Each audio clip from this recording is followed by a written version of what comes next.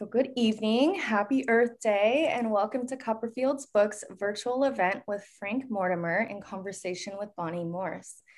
My name is Jamie Madsen, and I'm the Marketing and Events Coordinator here at Copperfield's Books, and I'll also be your host for the evening.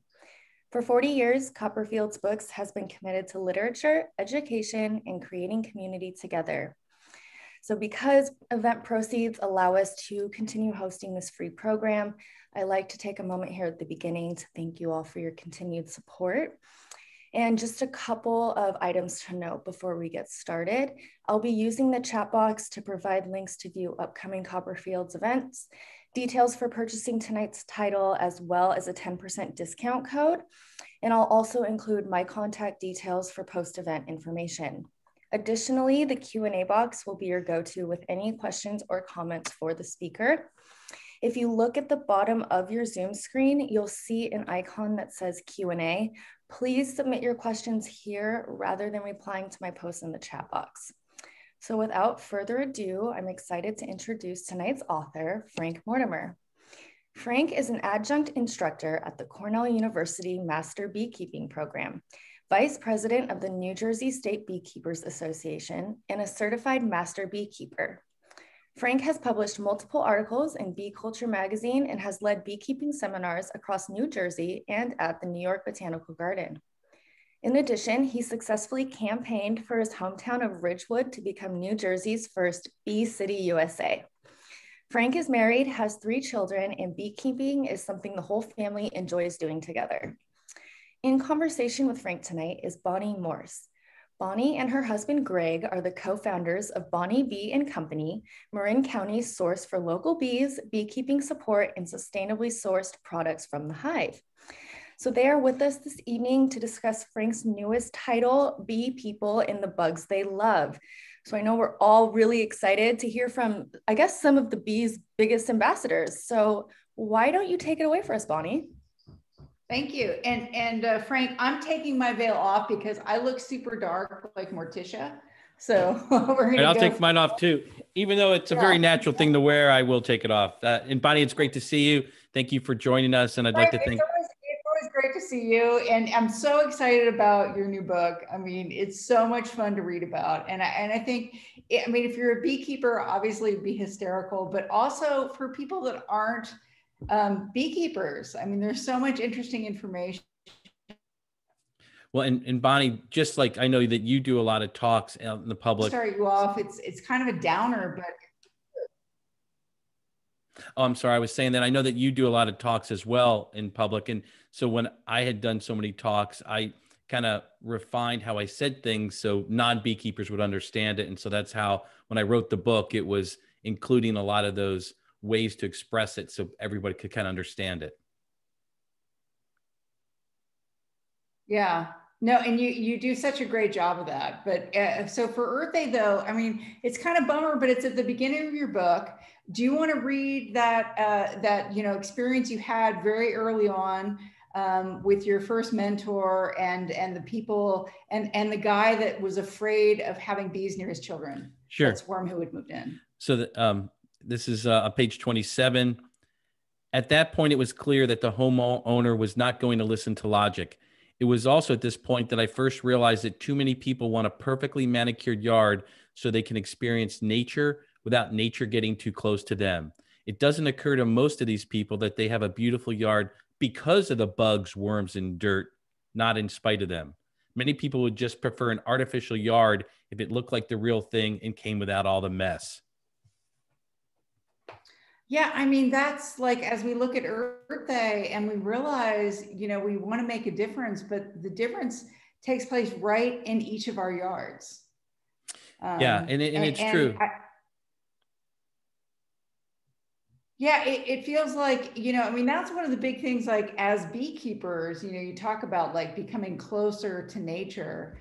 Um, you know, people that start keeping bees, like you know they start thinking about what their bees want to eat what they need to eat to get closer to um, yeah it's it's a it's a really interesting thing that happens and just that whole concept of time that totally changes for us and you mentioned that you know uh, about this whole concept of time with bees with with honey, with just the cycles in general. Do you want to talk about that? Sure. Yeah, it's it's it's funny. Like um, Bonnie and I talk about this all the time. That when when you're in the hive itself, you can kind of lose track of time because I call beekeeping forced zen because you have to be present or you're going to get stung.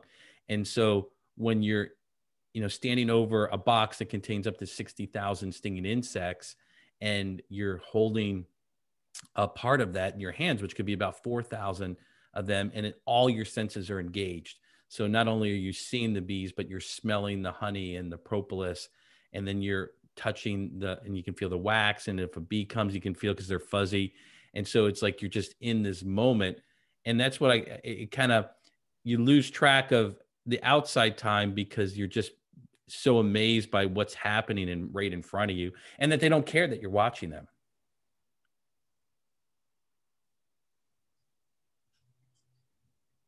Would you say that's yeah, how it is and, for you? And just the whole concept.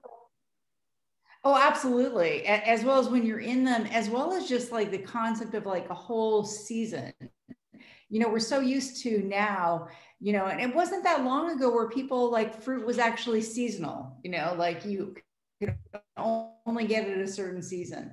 But now it's this instant gratification of you can get pretty much whatever you want whenever you want it, you know, because it's grown in a different part of the world that has a different season.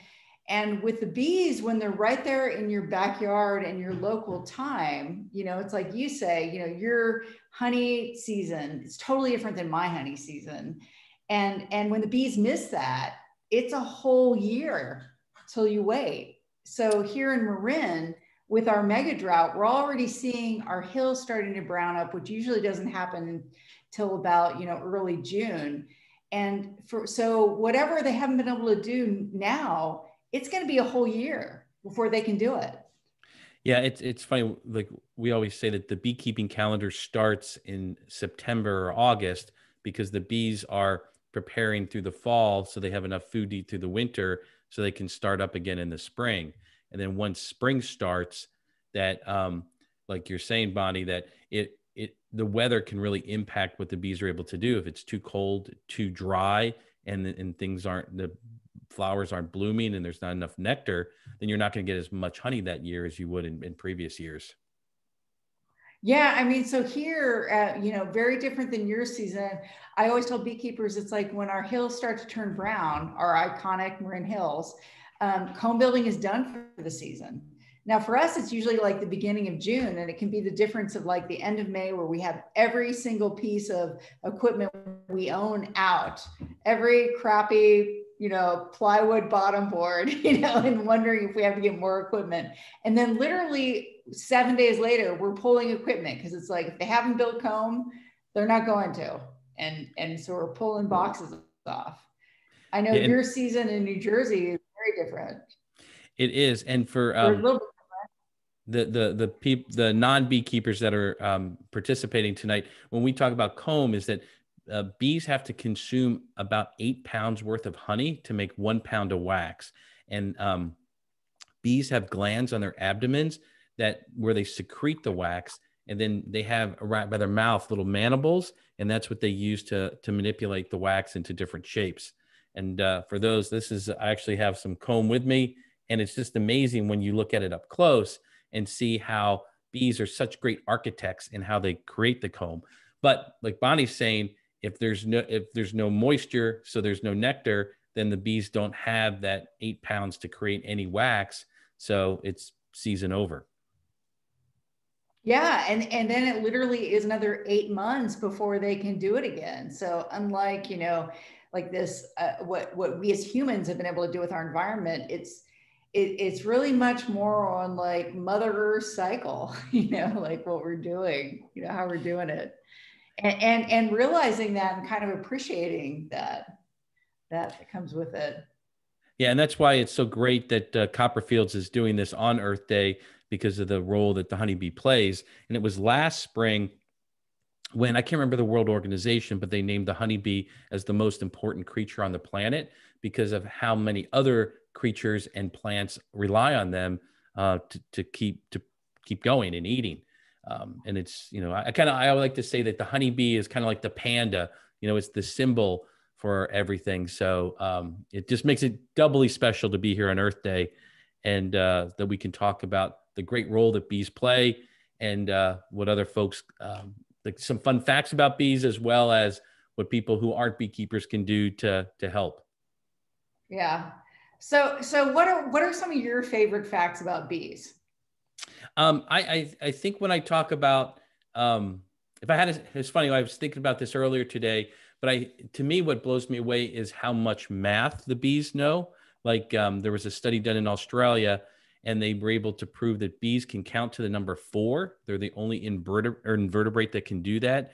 And they're one of the few animals on the planet that understand the concept of zero it's pretty amazing what the what the girls can do. Oh, oh, I called them the girls, which is my habit. And I saw your book, like you said, like you don't call them the girls, but I do. you know, you know. Yeah, I, I, guess this is one those things where they say, you know, ask two beekeepers the same question, you get three opinions. You know, yes. and I, I can't help but call them. Maybe it's because I don't have kids, you know, but I've got a lot of beehives, you know, so they're the girls you know. Yeah.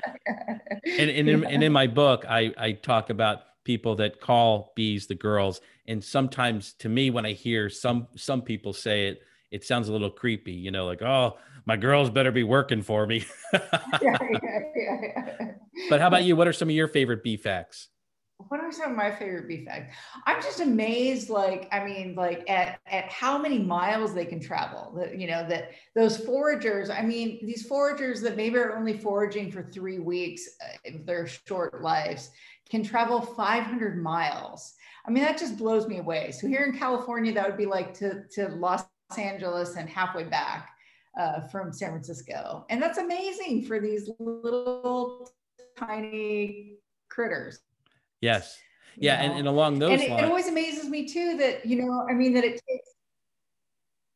Go ahead. Go ahead. No, it, and along those same lines, yeah, it amazes me that it takes a combined flight miles of 56,000 miles for every pound of honey that the bees create because it takes 2 million flowers. Yeah. So it's, yeah, but 2 million flowers for one pound of honey. And so for them to go to that many flowers, it's essentially going around the earth twice. Amazing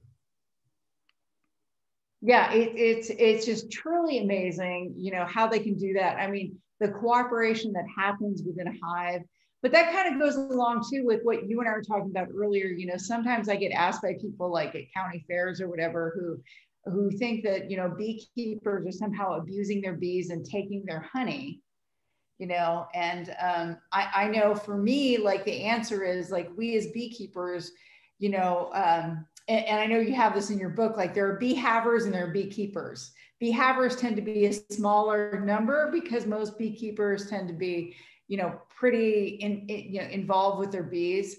Um, but you know, we're like trying to make sure they don't swarm. Um, and therefore, they're putting their excess of energy into honey production as opposed to reproduction um, and, and, therefore that that's where we get our honey from. So it's not really stealing from them. It's you know it, it's it's a it's a relationship we have with them. you know. Yes. Know. Yeah, and the thing is, like in nature, do, that, do you ever get questioned by the vegans ever?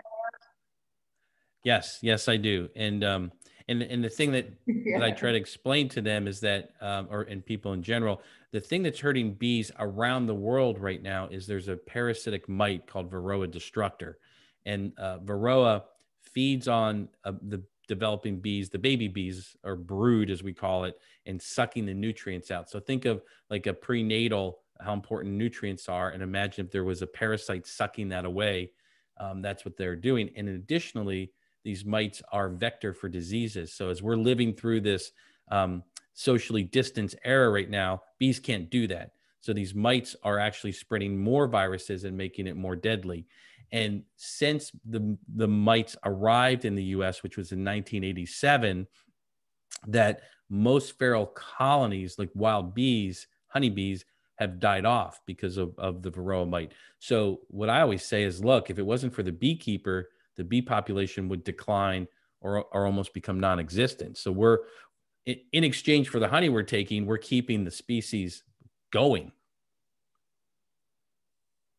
Well, I mean, when you look at it, I mean, our our commercial agricultural system is really built on the back of honeybees. Yeah. It's really built on the back of being able to close up thousands of pollinators and move them where you want. It's kind of at a breaking point, you know. I mean, so like here in California, two thirds of all bees in the United States are required for the almond pollination. It's the biggest almond pollination event in the world. Yeah. Part of the reason that that many bees are needed is that because of the way we farm today, we've annihilated the local, and the native bees. You know, I grew up in the Central Valley. There were a lot more crops back in the Central Valley when I was growing up than there are now because of the price of almonds. But, you know, um, before European honeybees came here, there were 4,000 species of native bees. You know, here in California, 1,600 species even right here in Marin County, 100 species. But boy, but with our, our monoculture, we've certainly changed things and we really rely on honeybees for yeah, our pollination. And like, you know, what you said with the almonds, with that, you know, that that was reported last that I read $7.6 billion industry and it's 100% dependent on the honeybee. But um, you're also right, like just like, you know, the, the equivalent of honeybees being in a monoculture environment – is the same as as people living on just McDonald's and nothing else. Like they need to have the diversity of food. So that's why if other things were planted around the almonds, then that would help sustain the bees while they're there.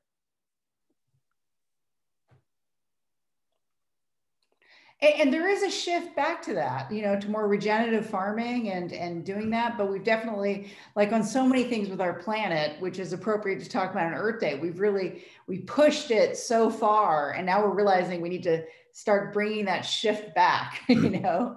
And and it's important for everyone like for everyone in their backyards you know to help with that.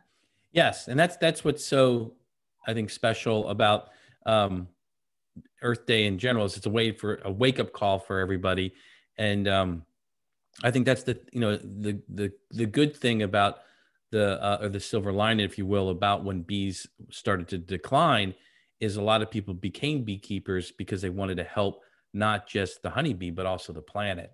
And this past year, that I think that um, there's been more people that want to get back to nature and so we're seeing uh, an increased interest in beekeeping which i think is great because i think you know the the more as a society that we can get in touch with what it's like to be outside and and help things grow the better it is for everybody. Yeah. I, I get asked that a lot by some people like it, it, oddly enough you know always they seem to be from european descent so we're not native here you know like but talking about the non-native uh, uh, you know honeybees are not native. They're european honeybees you know and talking about them being kind of invasive. But as we were talking about i mean we've come to depend on them for their our crops. And and also i think it's really been like you said people have gotten uh, gotten there's been this renewed interest in them and then people, um, through the honeybees, they become more interested in what plants are on their properties and what they're feeding. And through that, it's a conduit to our native bees and native insects, um, you know, and just ecology in general, which is amazing. And, and Bonnie, what I what I admire about you, and, and you're really a good um, example of this, is that beekeepers we care more about all all pollinators. It's not just about the honeybee you know it's a, and when we manage our hives we have to think of what impact we're making on the native pollinators and you do such a wonderful job of that and promoting that yeah thank you very much and and, and so do you and um, you know i always think then like talking about just like the honeybees then i always laugh about in your book like going back to your book because that's what we're here to talk about tonight. I love the comment you make about your first beekeeper meeting and like every that everyone there was 300 years older than you were because it's so true like in beekeeping you know up up until the last like decade or so you know when people thought about beekeepers they thought of old white half balding men you know who'd been doing it for for decades. And suddenly um, in the last 10 years or so because of the interest and concern about honeybees loss of bees loss of biodiversity now you've got you know all these people of of um, you know all different ages. As you mentioned in in one page they're talking about you going to the state meeting all different sizes all different shapes um, half men half women. And i don't know about you frank but i mean i work with families. I work with kids. I mean i had this one client who was literally she was 10 years old who i was working with you know she's now 16 it's very exciting you know but she was so excited about bees um, and and through bees you know you see the shifts in people's gardens like what they're planting and what they're doing and it's very exciting. Yeah and, and, and like kids are great but i'm sure you, you saw that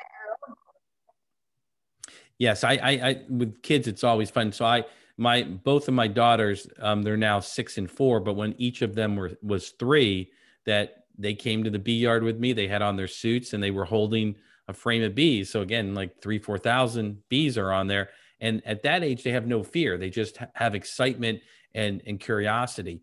Um, and that's, and I love to, and I talk about this in the book. I love to do talks at schools because kids always ask the best questions.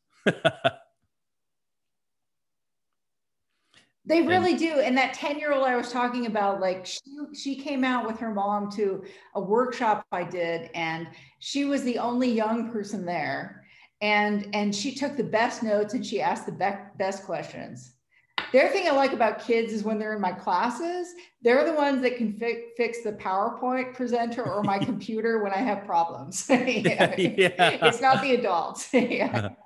and and it's and it's really great to just see kids um, that they want to be outside because with the, the thing I always say about beekeeping is it gets you off the couch and gets you away it, from being in front of a screen.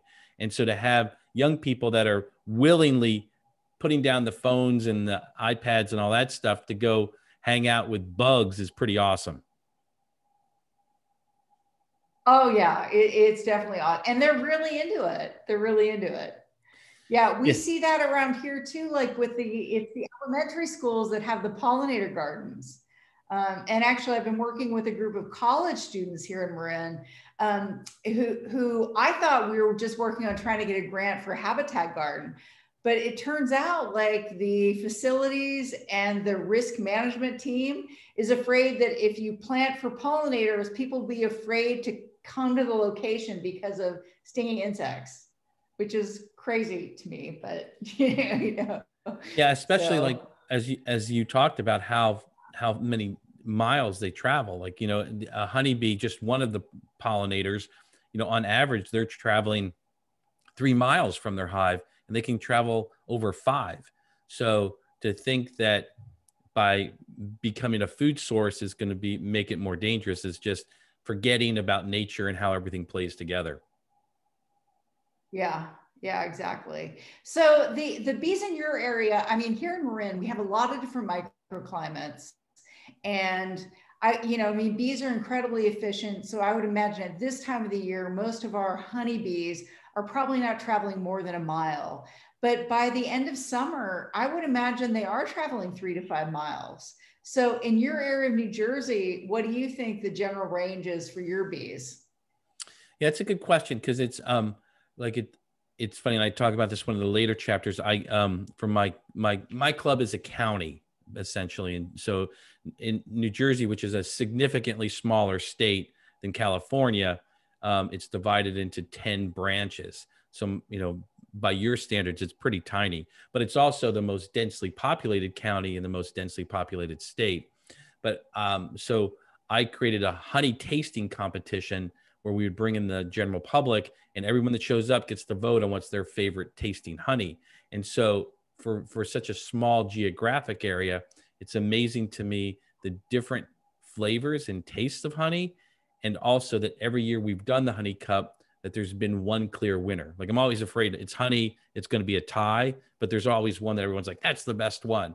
So yeah, so it is it is interesting how even though they're very close together, that they they forage differently or at least in different percentages of where they're going. Yeah. Yeah. It is pretty, the bees are pretty fascinating with that, you know, their, their preferences.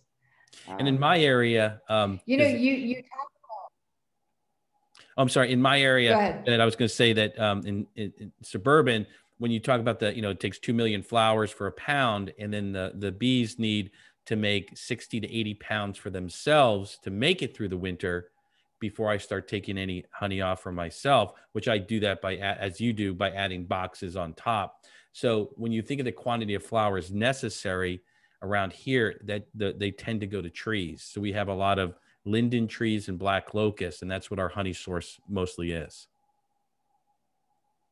Yeah, so I'm glad you mentioned that because anyone listening who maybe not be a beekeeper around here and thinking about, because I know in your book you talk about how beekeeping is the one hobby like where you know you can actually cover the cost for it. And in here, that's not the same case as what you're doing. So you mentioned like your bees need 60 to 80 pounds of honey to overwinter. Our bees probably only need about 30 pounds because, you know, um, we don't really have winter. Our winter is hot and brown when things dry up during the summer. Yours is cold and white or whitish, you know, you know, and so they need more. Here, most of our native trees are they provide a lot of pollen but not nectar. So um, we, you know, I would say like your book, you were talking about some pretty big numbers that for a new person who's not a beekeeper, it sounds pretty awesome. And the numbers seem like, I'm going to make a fortune, you know, like I got a few hives. But here in Marin, what Gary and I found, especially with all of our different uh, microclimates, some more than others, but on average, we can only get about 30 pounds of excess honey off of a hive. You know, where you can get it like that seven foot hive you talk about, that was pretty significant. yeah. yeah, that was my all time uh, best producing hive. And including the honey it made for itself, that hive made 340 pounds of honey in one season. That's amazing. Back in the old days, before there were so many beekeepers in Marin, the southern area where the non-native eucalyptus is is uh, is um, pretty significant. Um, you know, some of the old-time beekeepers talk about being able to get like 200 pounds off a hive but you wow. just don't see that. Even in that area you don't get that anymore because there's a lot of beekeepers you know? I mean here in marin um, in 2005 there was 25 members of the marin beekeepers association or marin county beekeepers is what they're called. Um, today 350 you know? Wow. Um, but probably overall about 2000 beekeepers in marin today you know? So that, that, that's an amazing number. Like in in all like the the state of New Jersey beekeeping organization has about 1700 members and we estimate it's about 2500 total in the whole state and that's just one county for you. That's fantastic. I mean it's bad that's but it's amazing it's amazing it's only 2500 that you estimate with everything going on today. And i mean do your costco's carry bee equipment like ours do? No. That I, I, I wish they did but no we we do have some um, tractor supply companies that do but we're lucky because we have a few distributors here um, in, the state and also close by. So that's how we get it. And and for those that are listening what's funny is is like and i never realized this um, before i got into bees but where do you buy bee stuff? And so there's actually companies that specialize in selling everything you need, and those suppliers have catalogs um, and, and and websites now. But it's just uh, amazing to think that these, in like the oldest one, Dadant, has been around since the 1800s, and the companies are able to exist for that long of time selling just bee equipment. Yeah, well, I mean, the Sears catalog, you used to be able to not only buy bee equipment, but you used to be able to buy bees yes. And and what's funny like about packages that, of bees. Right. And then the packages of bees to this day can still be mailed through the US postal system. And um, it is funny if um, I don't I'm sure that you've picked up bees or have heard of people picking up bees and the postmen are always like, they're somewhere over there. Go get them. What's really funny is, you know, we we got queens from Kirk Webster one year, and you know, Kirk only sells like he's not even selling them anymore to like individuals, but he only sells like 300 queens a year, and his, his bees are premium. So for anyone listening in on this, you know, this is like the the kind of the patriarch of treatment-free beekeeping in America. He's in Vermont, and we were expecting a package of 20 of his queens one year. And I had the tracking information for the US Postal Service. and it said they were at this site. And Gary went and he's like, you know, they said, no, no, we don't have them. He's like, no, no, it says you have them. You know, like we're not letting these bees, very valuable bees, you know, go. No, no, we don't have them. And he's like, my wife is on the phone saying, I can't leave because you have them, you know. and it turns out that someone was afraid of bees, heard the buzzing, and it stuck them in the back room, like on a back shelf somewhere, you know. Uh, That's crazy. Yeah. yeah. And, and these kind of stories that Bonnie and I are telling, like this is this is how the book started was because beekeepers are always telling funny stories back and forth. And eventually somebody would say, you know, somebody should write a book about all this funny stuff. So I'm like, you know what? That's what I'm going to do. And uh, it's it's funny with that. Like so, last year during the pandemic, so you think about how all the rules that were in place with that. Um, so there's a UPS facility that's about 15 minutes away from me, and people were shipping uh, packages in these plastic containers. And at this UPS facility, they kept falling off the line and breaking. So they were calling me. And so it's funny you know, so all the security in this plant, right? But I, so I, they just waved me through the fence. Like there's all these 18 wheelers and just me in my car. And then I pull up and then they're like, it's in there, go in there. And I'm thinking, man, I'm walking around this UPS facility without an escort because they don't want to go buy the bees. And then I just picked it up and I was walking out and they're like, do you need any equipment? I'm like, no, I'm just going to put it in my car. yeah, yeah, yeah. It's so funny. Like people like when I do beginner classes and talk about how you can get queens, although it's really scary because the US Postal Service is so slow right now, even when you get it oh, supposedly overnight. But you know, I mean, I've got all these examples of like, you know, just envelopes with holes punched in them and handwritten queen bees inside, you know, like, you know, or like priority mail envelopes with holes punched in them. And you know, it's yeah, it's pretty crazy. yeah. yeah and that's and that's and the thing that's fun too about beekeeping is all the great people you meet i mean you know i'm in new jersey you're in california we met in nevada at the nevada state beekeeping meeting and it's just like it's like this fraternal order that once you keep yeah. bees you have friends literally around the world and i think that's so special and you you meet people in common so um, as you and i met frank after your presentation you had a, a picture in your presentation of a friend of ours you know? and i remember coming up to you afterwards and was like have you met him and you're like oh no i have no idea and he's like well he's a friend of ours and you felt a little comfortable at first because you were kind of making fun of him you know? yeah. and uh and so and bonnie's referring to there's uh it's professor michael smith um from Cornell University, and he had done this study to see where it hurts the most to get stung. And so this was a scientific study, and it won what's called the Ig Nobel Prize because it's it's it's a study that's funny, but it's true science. And so he stung himself three different times in 25 locations all over his body, and I mean everywhere on his body. All, and, all over his body. yeah. Yeah. And so out of all the places he stung, and remember he did this three times to find it out, that what stung the where it hurt the most was inside his nose. I believe it. Have you been stung up the nose, Frank? No, that thankfully no.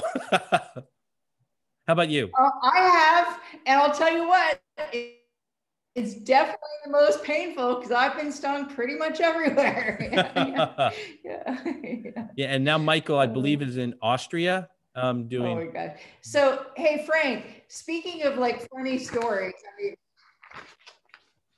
um, funny stories. So, what is one of the most funny stories you've heard about stings? I mean, we've all got them, but yeah, I um, you know, well, in in your book, frankly, it was yeah. Go for it. it. Yeah, in in my book, I think the um I tell I tell a couple of different stories. The one is when I got a lot of stings um, at one time, but I think to me, what was some of the the the the funnier ones uh, for me, and again for those non beekeepers listening, yes, beekeepers think it's funny when they get stung, but uh, I, I have a non beekeeping job. So I um, used to work in Manhattan and would take the train in. And there were a few times when I get stung on my face, and then my my eyes would swell up. So by the time I got into work, it looked like I was in some sort of fist fight. so I always felt like um, Ed Norton in Fight Club at those days because it's like people are looking at you cross-eyed, like, "What did you get into?" What's some of your funny stories, Bonnie? Uh, no, definitely. Well, I, I mean, um, like you said, I mean, before I was working bees full time, uh, one of the worst was second year beekeeping and getting stung up the nose. And I was totally unrecognizable for like three days. But yeah. I, I, was laughing about the story in your book, you know, um, that, that nuc box at the church at night and getting bees walking up and stinging you on your chest you know and, and you were saying like yeah you should it, it, was a it was a lesson like you should never work bees at night but you know what? Sometimes you don't have a choice. So one of our worst experiences was we were literally flying back from the east coast from visiting my mom. We were taxing at sfo at 9 p.m i turn on my phone and i'm getting a call from one of our property owners we have bees. And she never calls me. So i knew something was happening. So i answered it and two hives had gone down because of a lot of rain and, and gopher holes. Oh, wow. And I asked when the next rain was coming, and it was going to be before the next morning. So we had to go from SFO to home with our gear to out there. So we get out there like 11 o'clock at night, and there's two hives totally torn apart, very upset. And we had red flashlights. So, you know, bees don't see red but I didn't have a headlamp at that time. I just had a flashlight. So I had a full suit and gloves on, but the flashlight was in my mouth with the veil. And so the bees didn't find me for a very long time. But once one stung me on the lip where it was touching, they all found it. like you mentioned, you know, I mean, once that pheromone's on you, that's it, it's a bullseye. So, you know, even though it's night, now they can all find me. And I had the most incredible Botox around my lips. you know? so, yeah. That is funny. Yeah. And so, a couple of points. So, like, the reason we say you don't work bees at night is because bees only fly during the daylight. So, at night, they crawl. So, if, if you're holding a box that has bees in it, then they're just going to walk up your arms and, and all over you. Um, and then the second thing is that so bees communicate two different ways. They communicate through dances, which is called the waggle dance, and that's how they get direct um, their sister bees to food sources. And another interesting bee fact is there's only two creatures on the planet that give directions to food sources honeybees and people.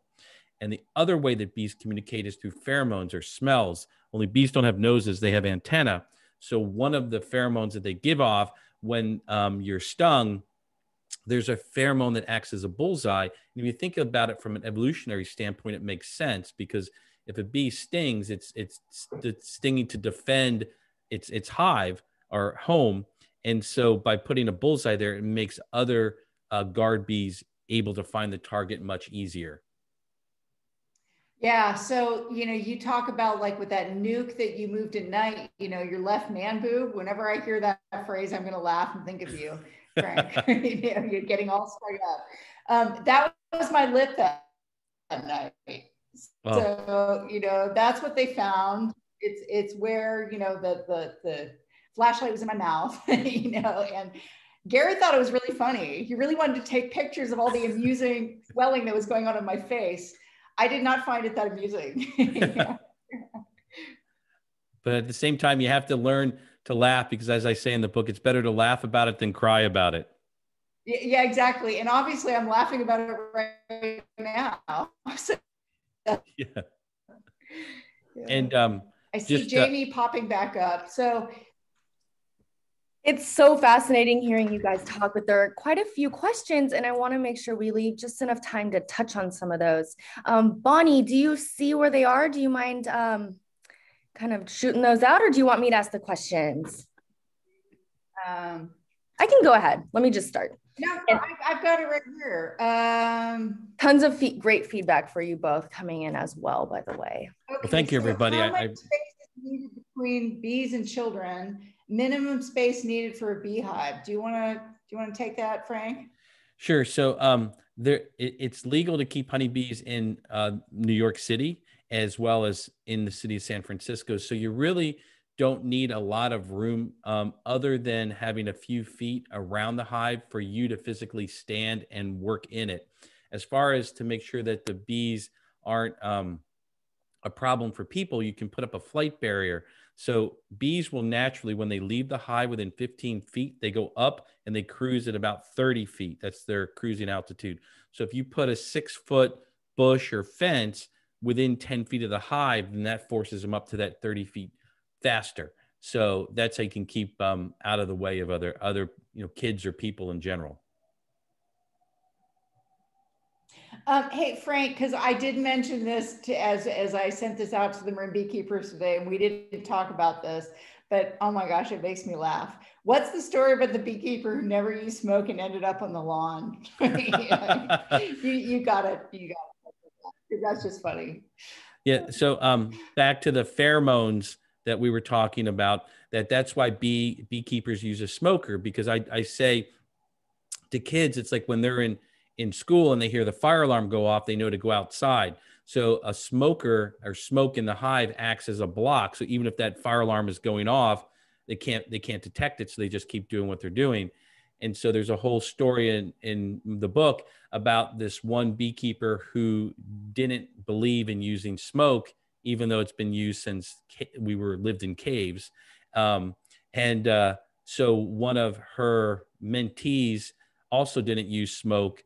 And so he went out into the hives without smoke. And also um, because he, he wore a full bee suit, which is like a jumpsuit, and he didn't wear anything underneath.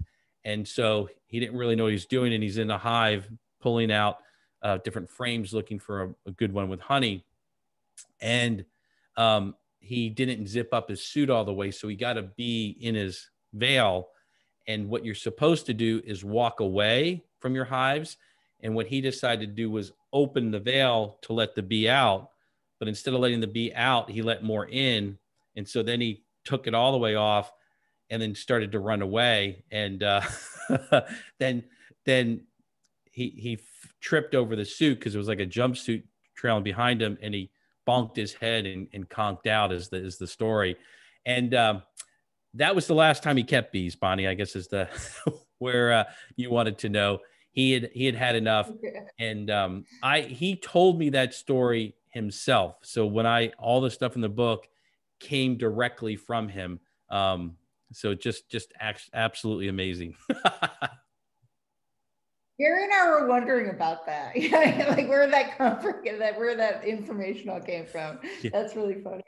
I um, here's a comment from Anthony. Um, he used to get his bees through the U.S. Postal Service early on and got them from Montgomery Wards. So yeah, that is fantastic. I had never heard Montgomery Wards did it, so that that is wonderful to hear that.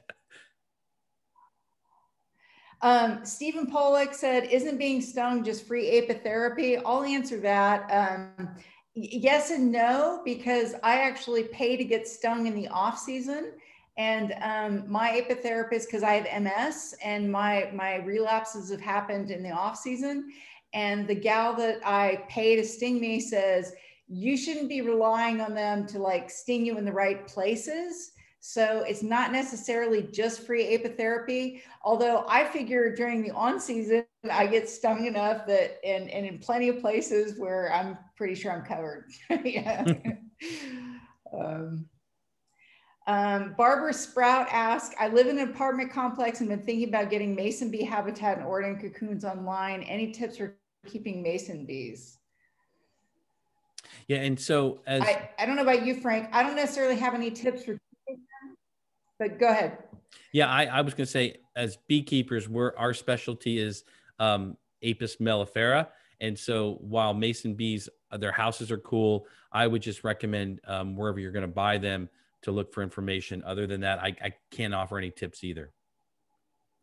But except to say thumbs up yeah, for doing it. Tip I can know that you can only get them while it's cool. So I, I, believe it's November to February when you can when they'll ship them. Um, I've tried them out in a couple places that are farms um, and have seen them, you know, actually come back and nest. Um, but yeah, do, do, I, I'm not definitely not an expert on that. So do some research on that. Um, let's see, what else we have here?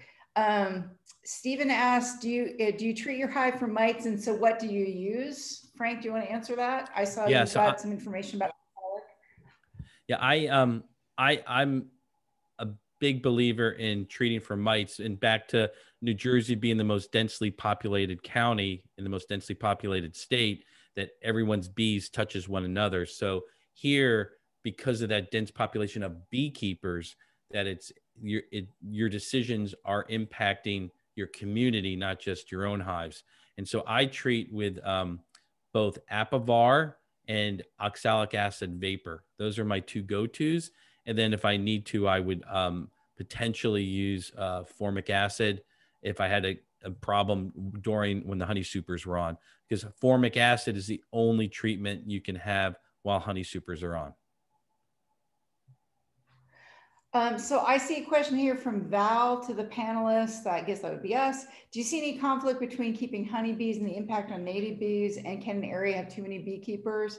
Um, well, I'll comment on that, and then I'm sure Frank has an opinion. I know that that that has definitely been shown. I mean, in areas like Santa Fe, New Mexico, and London, where there were so many beekeepers that there was an issue with forage. And then people responded by planting more habitat. And they've got one of the most amazing habitat corridors there. And yes, there, there's there's different research showing that where um, European honeybees can actually, um, you know, that that increase in foraging can help um, native bees, and then other research showing it can be negative. They definitely can share, uh, uh you know, um, diseases with them personally what i tell people is yeah i think like in our area we probably have too many beekeepers. However it's hard to be a bee and it's hard to be a beekeeper and some of those people are going to drop out. But what's left in their wake is people that are much more conscious about what they're planting and limit, eliminating chemical use um, and the knowledge that's left behind i think ultimately things will uh, equal out but the um, what's the the benefit being done by them i think outweighs the short term negatives of it. Yeah I, I would agree with that. And i think the, the thing that i like to always point out is that the the crops that honeybees are pollinating are also not native. Almonds aren't native to california either in apples oranges and all the other fruits are not native to north america. So not only are the the honeybees not native but what they're what we consume is also not from North America. And and that's as I said earlier too is I think to be a good beekeeper you have to be a steward for all pollinators and you have to you know and this goes to why you should treat for mites because the mites spread disease to to, to other pollinators. So the better you are at being a beekeeper, the better you can ensure the health of other pollinators. And Bonnie, since you brought up that um, how it's important to plant uh, for all pollinators. Why don't you take a minute and let's talk about this great initiative that you have, the 10 by 10 for 10. Thank you. Thank you for that. So yeah, let's, and before we talk about that, I mean, as far as how people want to help bees here, here we're on Earth Day, some of the best things they can do are one, plant natives. You know, what's native to your area because, um, you know, that's what the native insects and pollinators um, evolved with. And that that's what's going to help you know all this loss of native uh, pollinators that we've heard about. If you plant for natives you're going to help for that. Um, the research that uh, uc berkeley has done has shown that because and you mentioned this in your book frank you know because bees want to uh, uh, go on a single floral source at any given time shown that bees like at least a three by three space of one plant, of any type of plant, um, to be attracted to it. So if you're planting for pollinators, please, you know, like think about that, a bigger space to attract them. So native plants, bigger space. And then thank you, Frank. So this came out of this initiative, 10 by 10 plus 10 came out of um, at the Be Audacious conference in 2016. And um, it's really the idea of like, how can individuals help? and um, eh, you know planning for pollinators, pollinator corridors, as well as bigger projects. So the concept is if people can plant 10 feet by 10 feet for pollinators. And then by buying this sign, um, your sign purchase also helps with giving $10 to a larger habitat restoration project. So we've just rolled out this website, 10 by 10 plus 10.com, um, just in the last few months. And um, we've already been able to um, uh, create a, a, finance a new pollinator habitat at a local elementary school. So we're hoping to make this a much bigger initiative. Yeah, that's fantastic. But yeah, if everyone, you know, what we were saying earlier on, I think Frank, you know, well, no, Frank, you and I were talking before this presentation, and I was saying a study we did here in our local city 25 front yards, only eight native plants in 25 front yards, eight total in 25 front yards. So everyone can just do a little bit, it collectively up to a lot. Um, and, and, I think, you know, with COVID and everything else, we've all like that's been reinforced. The individual actions we all take collectively really do make a difference. Yes. So 10 foot by 10 foot in your yard somewhere, it's a huge difference. Absolutely a great thing. What are some of the other questions we have?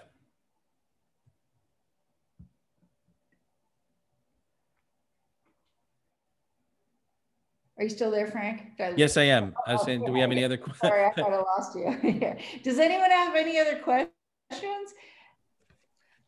So we do have just a couple more questions. Um, I know we're getting down to it, but let me go ahead and just you know, thank you all. Everyone is saying it's been so great hearing from both of you. You know, people are really looking forward to reading the book, and many who have read it already. I do want to share one story from Anthony. He says one of his funniest stories is picking up pollination nucs in an orchard one night. About eight of us in white bee suits and having a neighbor call the police because she thought a KKK meeting was being held. They oh, had gosh. a police escort them out of town. wow. So, okay, last couple minutes. Um, Stephen is wondering what are your thoughts on capturing swarms versus swarm traps or in the wild versus only raising your own stock? Swarms are free bees. So I, I think it's it's great to catch them. Um, like I, and I, I have some funny stories with that as well. And then there's a picture in, in my book that i have my hand actually on a swarm. And that's because you know bees are defend they'll, they'll sting to defend their hive. Um, and so since when they're they're a swarm they're a big ball of bees that you see just hanging out they have no home to protect. So that's why that they're not defensive. And also before bees swarm they eat as much honey as they can so I always say they're like us after a Thanksgiving meal. They just want to hang out.